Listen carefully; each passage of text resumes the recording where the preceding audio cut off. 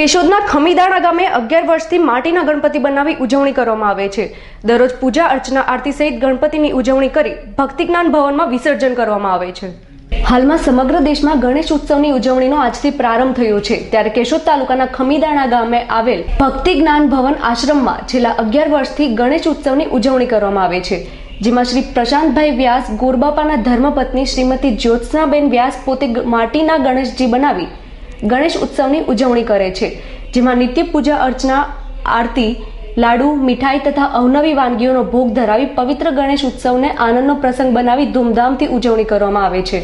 ગણેશ ઉત્સવની ઉજવણી પૂર્ણ થયા બાદ ગણપતિનું વિસર્જન પણ ભક્તિ જ્ઞાન ભવન આશ્રમમાં જ પાણી સાથે માટીમાં કરવામાં આવે છે, જેથી પર્યાવરણને પણ નુકસાન થતું નથી. આમ છેલ્લા અગિયાર વર્ષથી વ્યાસ પરિવાર દ્વારા ખમીદાણા ગામે આવેલા ભક્તિ જ્ઞાન આશ્રમ ભવનમાં ધર્મ જ્ઞાન તેમજ ભક્તિનું અલૌકિક સ્વરૂપ જોવા મળે છે.